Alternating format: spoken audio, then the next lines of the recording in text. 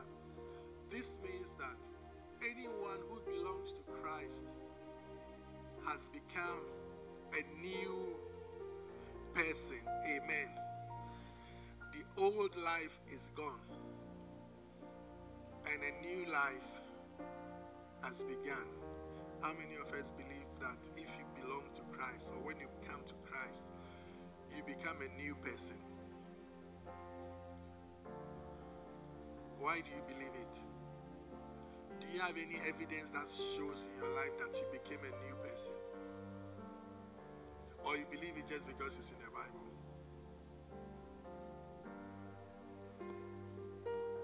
Oh, it's a question. No, I'm not. Uh, anyone that belongs to Christ has become a new person. The old life is gone. A new life has begun. You are asking for the evidence, but do you believe that if you come to Christ, you become a new person? Okay. Verse 18. And all of this is a gift from God. who brought us back to himself through Christ. Do you also believe that? That being saved is a gift. There's nothing you've done to earn it. Okay. And God has given us this task of reconciling people to him. If you believe the first one, that when you came to Christ, you're a new person, and that it is a gift from God, then you should also believe that God has given you a task of reconciling people to Him. That because of your salvation, He has given you a task to reconcile people to Him. Have you tried to reconcile friends who are fighting before?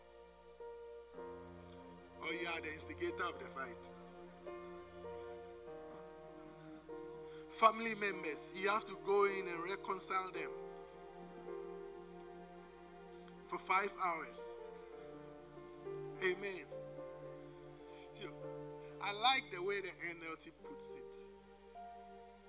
It says that, and all this is a gift from God who has brought us back to Himself through Christ. And God has given us the task of reconciling people to Him. You have a task, and I have a task. Because God has reconciled us to Himself. Everybody has a task. If you believe you are saved, then there is a task. You may not have started the task, but it doesn't change the fact that the task has been given. They may give you a task, homework. You may not do it, but it doesn't change the fact that that one is going to count in your assessment. At the end of the semester, they pull up everything and say that 15% is coming from this task. And if you don't have anything, it is zero. That's what we say, but you know, I was carrying your books every day to bring to class. So consider, no. We all have a task. Verse 19 says that one. For God was in Christ reconciling the world to himself, no longer counting people's sins against them. And he gave us this wonderful message of reconciliation. So the day you became born again, The day you were saved is the day you were given a task to reconcile people to God. There must be somebody that you can point to, or somebody that points to you and say that brought me to Christ. Or somebody that can say that because of something you did, I came to Christ. I mean, that's how I, understand reconciling people to God.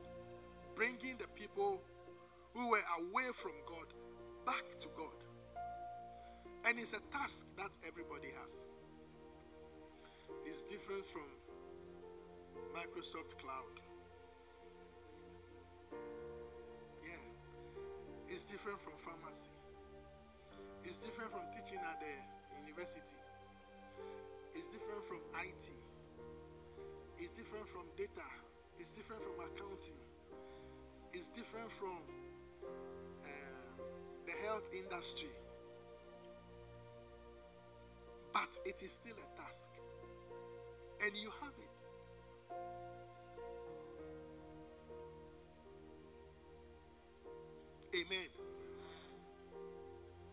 So, how are you going to fulfill the task?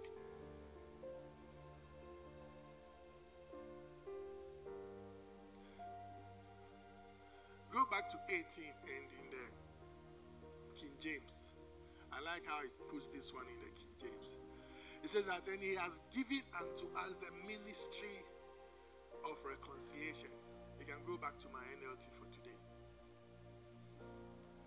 To fulfill the task of reconciling people to God, you must be in the ministry. You must serve God in the ministry.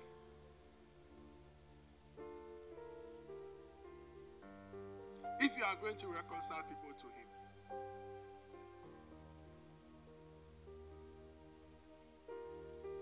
and there are two types of ministry. The first one, which most people know, is full time. A full time minister is someone who has left everything and decided that I am just going to concentrate on the ministry of reconciling people to God. And that is the one that many of us will not do. Many people, the fact is, we will never leave our secular jobs and just do ministry full time. It's a fact.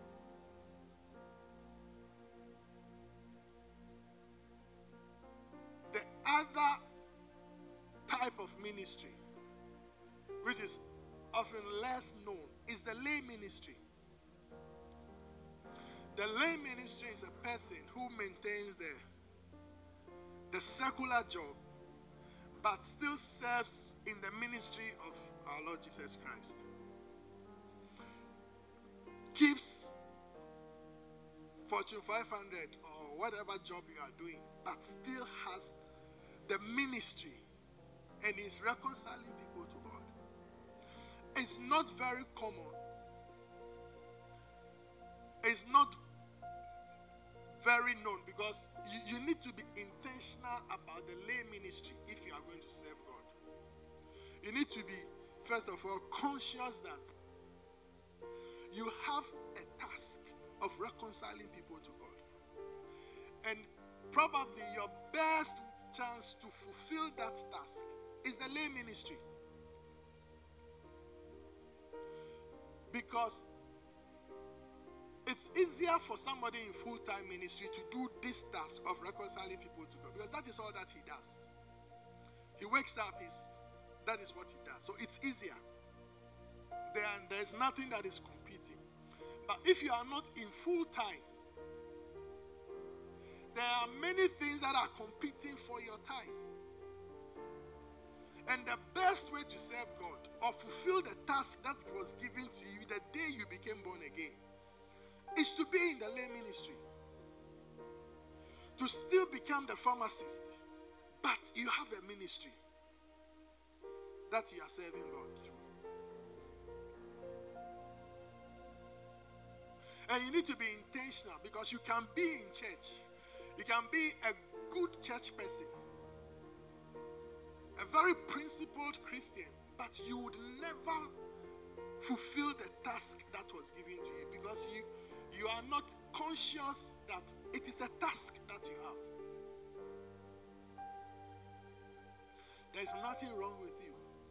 You're a nice person. You give good offerings. You are very principled. You have your quiet time.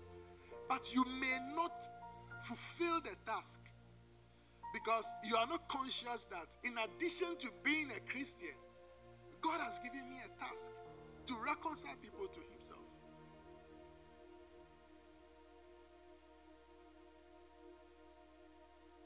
That is why the lay ministry is important. To keep your secular job and serve God as a lay person.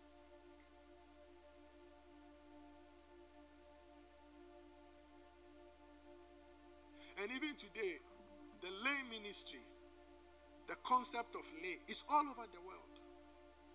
People are using it outside of the church. But you may not be conscious that this is a lay principle that is at work. Let me give you two. We have people now who are called lay stock.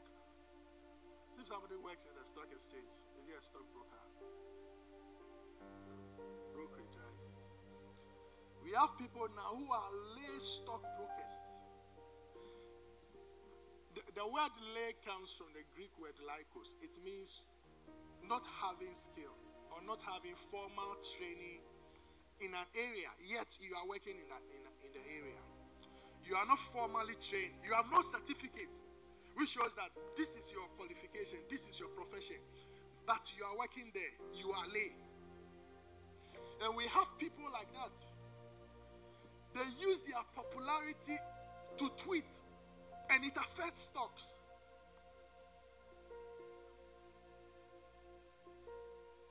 Yeah. All they need to do is to say something before I see that stock market is moving in the direction that they want it to. No formal training. What, what do you have to learn to, to do stock? Do finance in church. Hey, do finance in school, go to trading school. Trading school, they have no formal training, no certificate, but they affect the stock exchange. We have lay marketers, no certificate in marketing, no CMA, Chartered CIM, Chartered Institute of Marketing, no certificate. But they are fully into marketing. Companies go to them because they are popular.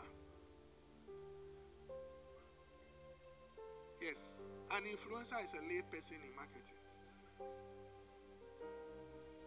They may have their profession. Let's say he's into sports. But he's doing marketing as lay. All he has to do is a company comes and says, Look, we, we, we have this nice watch. We want to grow the, that business. He just needs to go on a talk show where the watch sit there and do something like this. He doesn't even mention the watch. Because the people are buying it. That is the job of people who went to school to do marketing. To come up with strategies on how to market a product and how to push it. And today you have people who have no business in marketing doing that job as lay people. Lay surveyor. And what do they also do?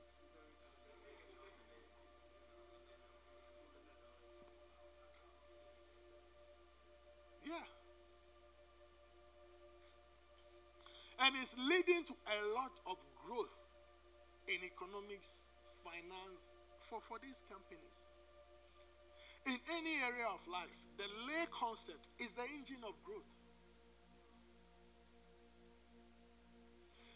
And in God to lay is the key to church growth.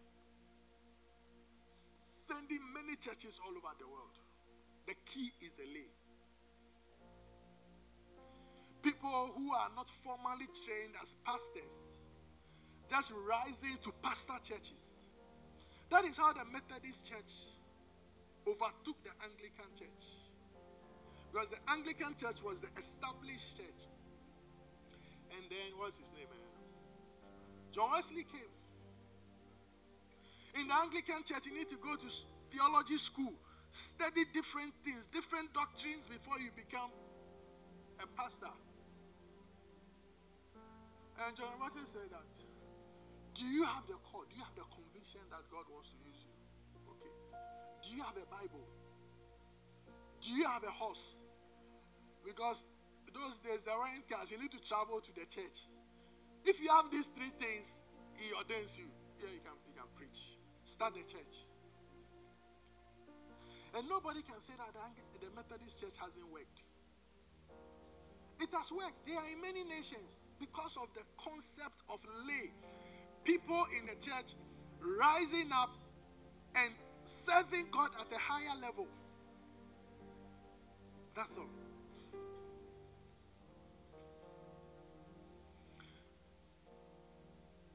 And we need more lay people. Yes. Do your secular job. Like me. I don't have, I didn't go to theology school. I didn't study theology for four years. I have no certificate. So, if this was Rwanda, maybe I cannot preach because now Kagame has come up with these policies. You need to go to theology school before you, you pastor a church. I wouldn't qualify to preach in Rwanda. But I am preaching here without certificate. Hopefully it's working. Amen. Because the lay is the engine for growth. Anywhere. People rising up and doing things where they are not formally qualified. There are many examples in history. What's the best form of government? Democracy. Democracy came about because there were people who were trained and they were in government. And the people, ordinary people, without training, rose up and said, No, we want to form a government where we are all ruling together. And it has changed the world. But it started from lay people, not the nobles, not the people who have gone to school to study how to be in government. It was ordinary people, farmers, tailors, seamstresses, uh, cattle rearers. They came together and said that we need to change the system and we need to form a government where everybody is part of the government and it is for the people and by the people. And they changed the world. Lay people can do a lot for God. Amen. You can be a lay minister. You should consider to be a lay minister because that's why I read it in the NLT. It makes it simple. Verse 17. No, oh no, the verse 18. It says that, and all this is a gift from God who brought us back to himself through Christ. And God has given us the task of reconciling people to himself. You have a task. We can put our head in the sand and pretend as if the tax is not there. But on the day of the assessment, that, portion will count. Like sometimes they say, as part of the grade, 5% is for people who are active in class. And you, because you are because you are you, you are brainy, you think everybody in class is down. and you don't talk in class, you are quiet. The highest you can get is 95. Because the teacher says you are not active in class. you don't talk, you don't ask questions, you don't contribute. So if you can get everything correct, your highest mark is 95. You will not get that 5%. Or they give homework, they say homework carries 30% of the grade. And you never did your homework. The highest you could get is 70%.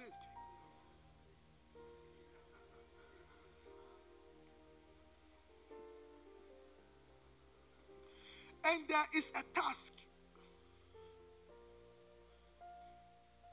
If I say that every task will come with an assessment, is it a true statement? There must be a way to evaluate whether the task has been done. Otherwise, it is not a task. I mean, when you give a task to your children to do, don't you inspect it and say that you didn't do it well, or you did it well, or I won't do it this way, or clean up. that I was like, clean up better. You assess every task. And if God says that I have given you a task of reconciling people to Himself or to myself, then that is a task that will be assessed. And you should work on passing that one. And I'm saying that the best chance we have as people working in the secular field to really fulfilling the task is to be lay.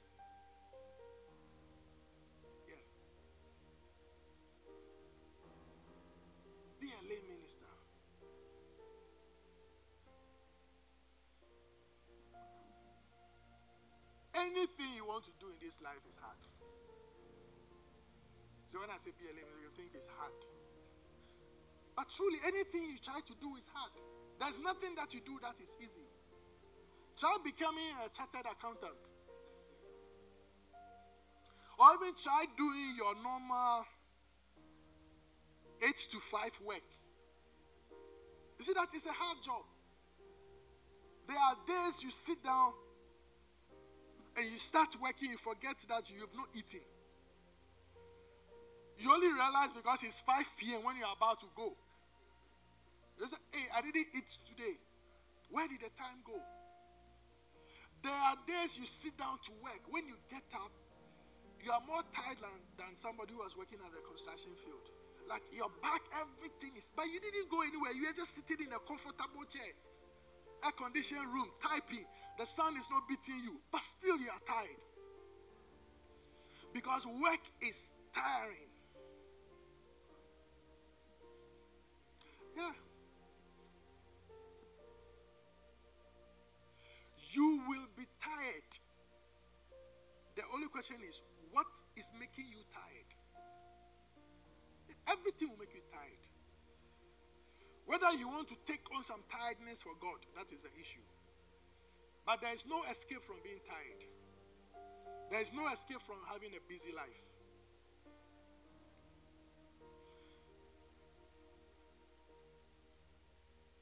Matthew 16, verse 24.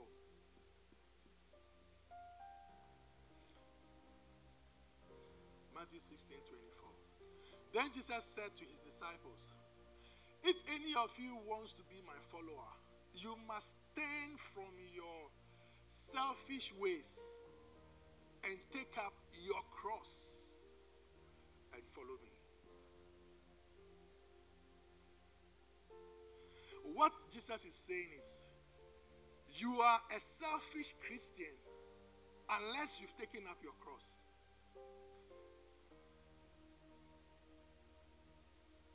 Without taking up the cross, you are a selfish person.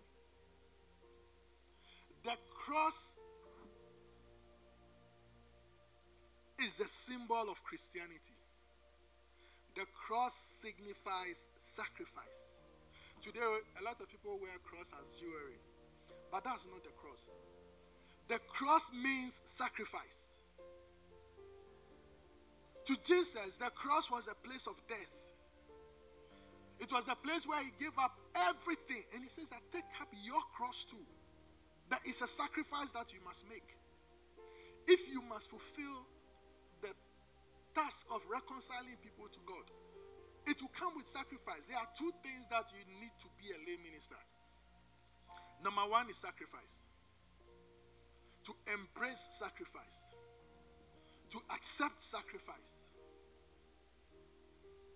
Second Timothy 2, verse 3 to 5 says that endure hardness as a soldier of Christ. Second Timothy 2, 3 to 5. Therefore, endure hardness as a good soldier of Christ. This was Paul talking to Timothy as he was entering the ministry. So then, in the ministry, you must endure hardness.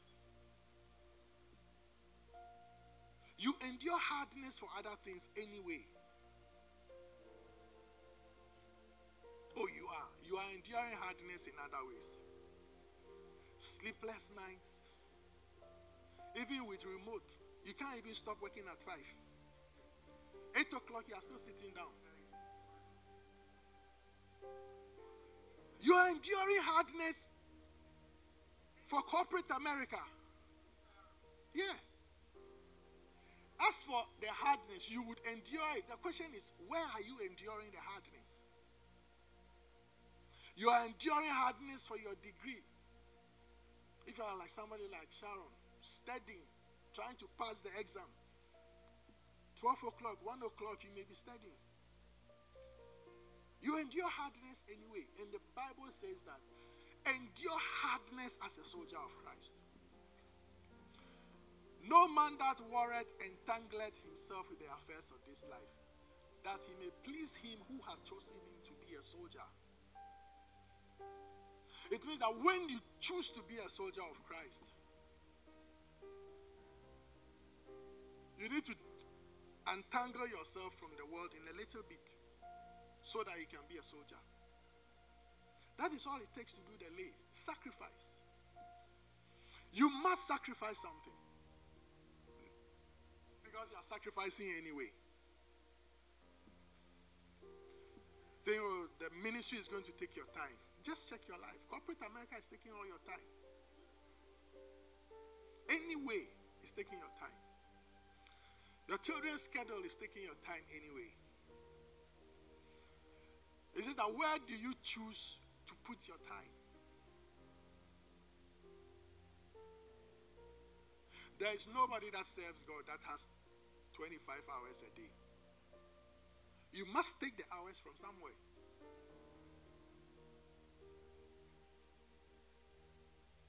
You think that, oh, because you serve God, God should do something so that as for you, you have extra time to be able to do everything. No.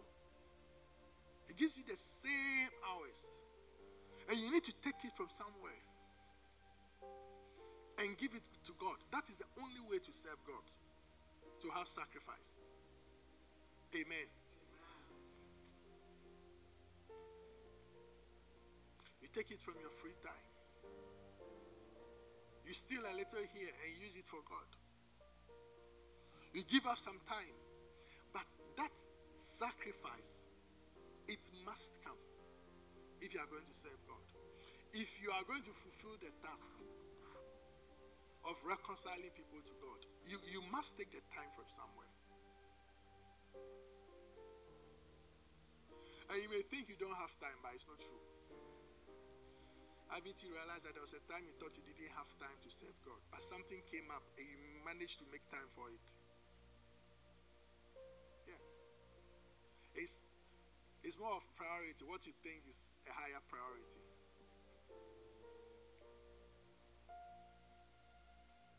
I can give you a clear example. You may be in a place where I don't have time to even do evangelism. But I tell you, when your child says that, as part of the curriculum, every Saturday, 9 to 12, I need to be doing this, you, the same person, you find the time. It's priority. And sacrifice. Where are you taking this? What are you taking the time from to give to God?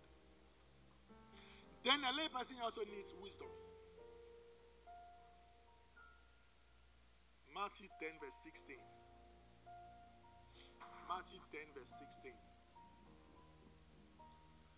Say, Behold, I send you forth as sheep in the midst of wolves. Be ye therefore wise as serpents and harmless as doves.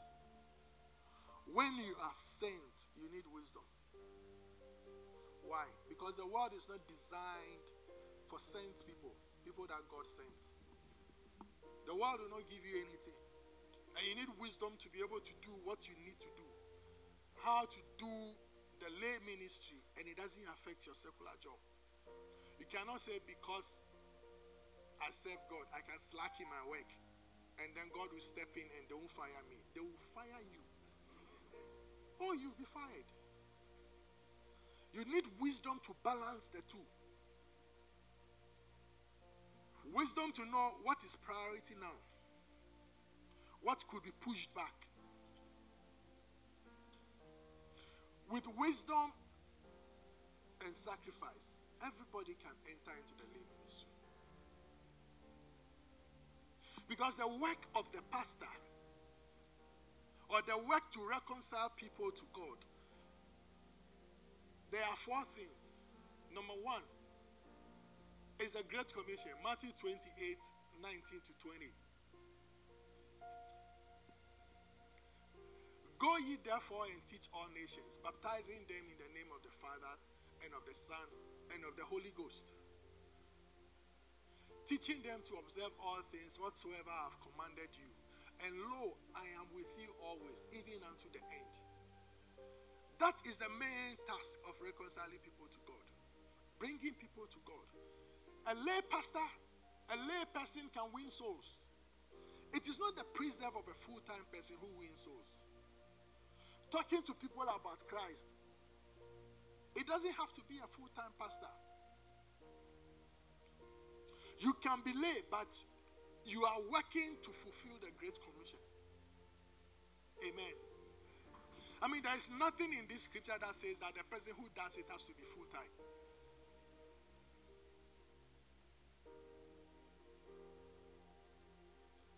It's all about sacrifice. Are you willing to sacrifice something for? Because the task has been given. The next two job or requirements of the task, you know the way they put that job adverts in uh, LinkedIn. The task requirements. The first one is fulfilling the great commitment. The next one, number two, is prayer. And number three is ministering the word or teaching. Acts chapter 6, verse 1 to 4. Acts chapter 6, verse 1 to 4. So in those days, when the number of disciples were multiplied, there arose a murmuring of the Grecians against the Hebrews because their widows were neglected in the daily ministration. Then the twelve called a multitude of the disciples unto them and said, It is not reason that we should leave the word of God and serve tables. Wherefore, brethren, look ye out among you seven men of honest report, full of the Holy Ghost and wisdom, whom we may appoint over this business.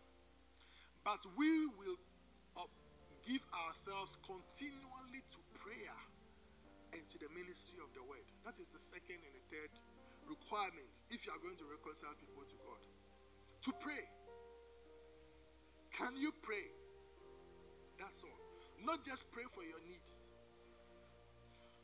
When you take on the lay, instead of just praying for your needs, you just need to make time and pray a bit more for reconciling people to God. Do you already pray? Can you pray? Do you know how to pray? Then you can be a lay minister.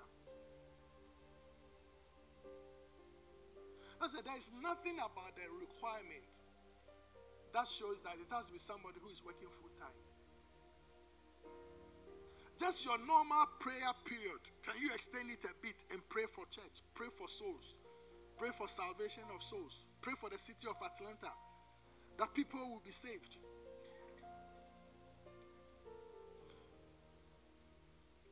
The whole idea that we cannot be ministers is not based on evidence or real truth. Because when you look at the job, can you talk to people about Christ? So if Ezan meets a lady and he doesn't know how to talk to her. And every time he goes around a lady, he can't open his mouth. I'm sure there is something you can tell him to help him to be able to speak to the lady. What just happened is you have taught him. So we are already teaching people. But the question is, can you teach somebody else? Can you teach Bible study? Take John 3:16 and teach somebody, for God so loved the world. This is what it means that God loves you. And can you be taught? Because you must be taught to, to preach. Been taught accounting. Some of us learn very big books, engineering books. We committed all to memory and we passed. But when you take the Bible, it's like we cannot learn it. it it's not true. It's just your priority. Right now, if you want to do the next certification in your area, you will take a book and So, praying and ministry, which is teaching the word. A lot of us know how to teach people how to do bad things. And we've been taught how to do bad things. And we've got the instruction fully, and we have become experts.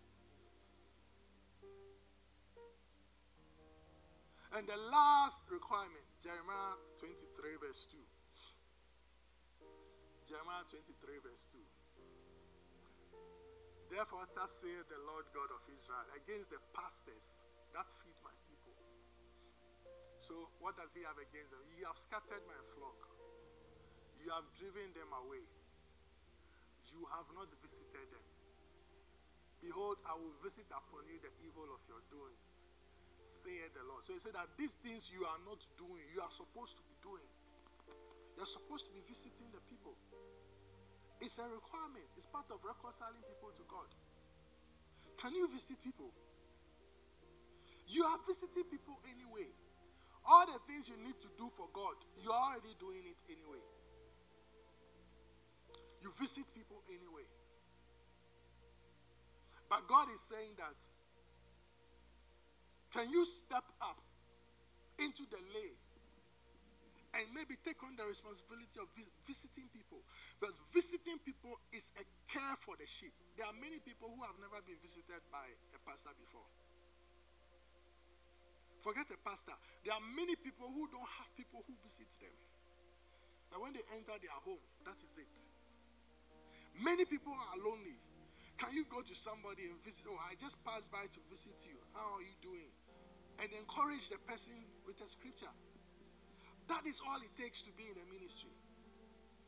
You don't need theology, you don't need certification, you don't need all the things that make us afraid. There are only four requirements prayer, teaching, visiting, and we call it interaction.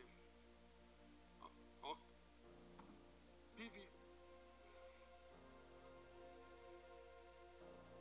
The counseling is like teaching the people. Amen. It doesn't take a lot. It's a deception that you cannot become a lay minister. It's a deception. The only thing is, are you willing, of all the sacrifices you are making in other places, are you willing to make an additional sacrifice for God or reduce some of the sacrifices so that you can sacrifice for God? You know how to gather people, how to channel an idea.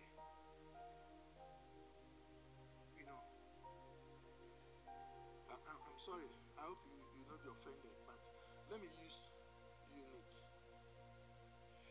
You can marshal a whole body of health professionals who have not thought of going to Africa and convince them and they follow you to Africa and you do great work.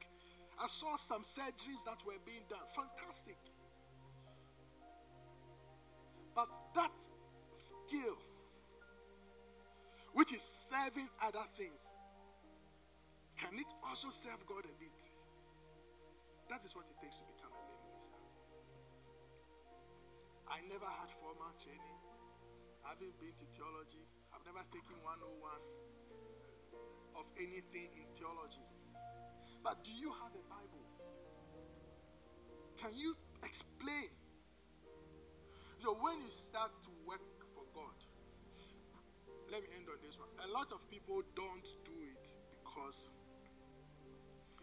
they are wondering, hey, if I teach, it has to be some powerful teaching. No, it does not have to be powerful. It is not a requirement for the ministry that you would teach powerfully or excellently. It's not a requirement for the ministry. The requirement for ministry is faithfulness.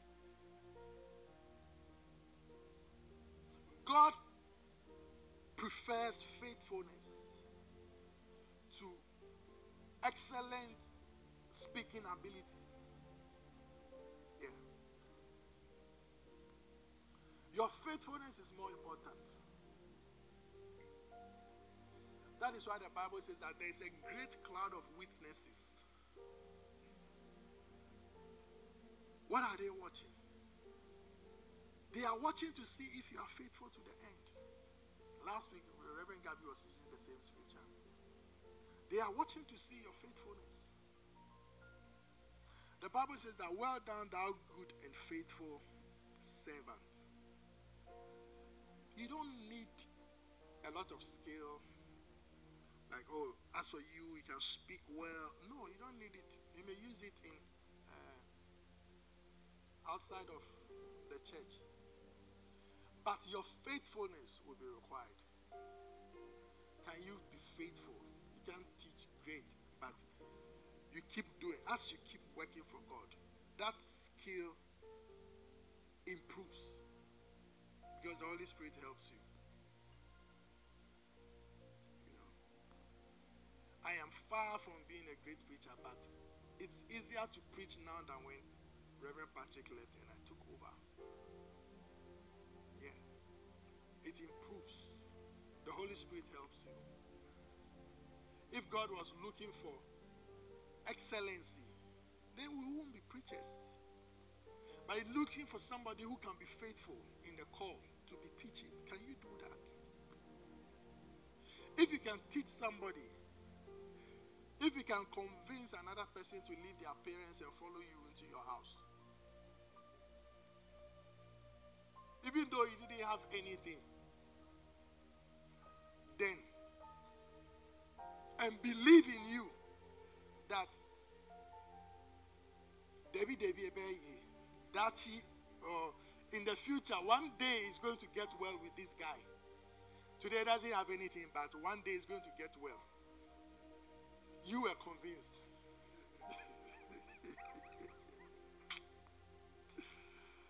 Amen.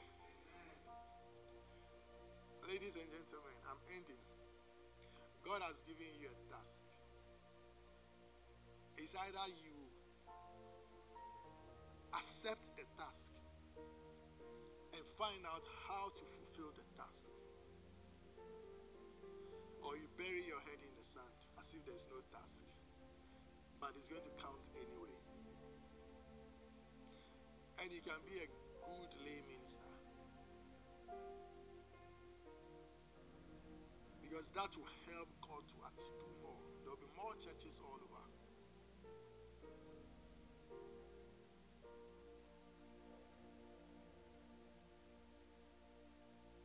You can be a great lay minister. You can teach. You can preach. You can visit people. You can counsel people. That is all it takes. Can put your hands together for Jesus. Amen.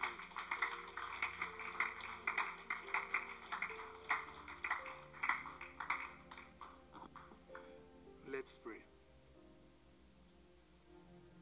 Father, we thank you for for today, for your word, which encourages us to rise and serve you at a higher level and to become lay ministers, people working for you, even though we are also working in the secular world. but just fulfilling the task that you have given us to reconcile people to yourself.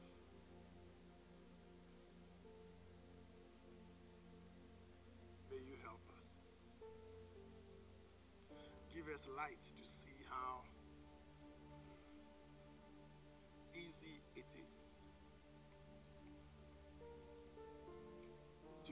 up and serve you.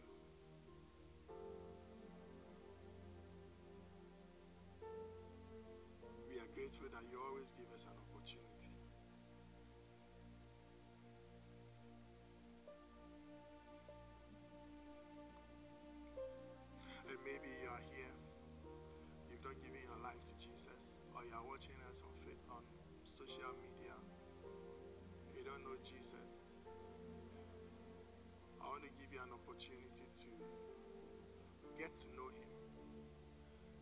Bible says that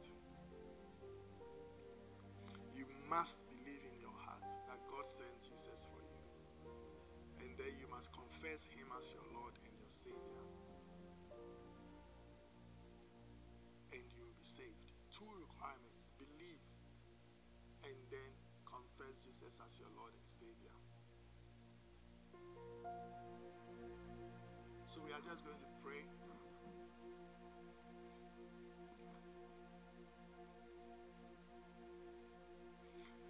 You want to accept Jesus as your Lord and Savior, pray with all genuineness and you will be saved. Let's pray. Heavenly Father, I thank you for sending Jesus to die on the cross for me. I accept the free gift of salvation which came through Jesus. Come into my life. Be my Lord and my Savior. From this day, I belong to you.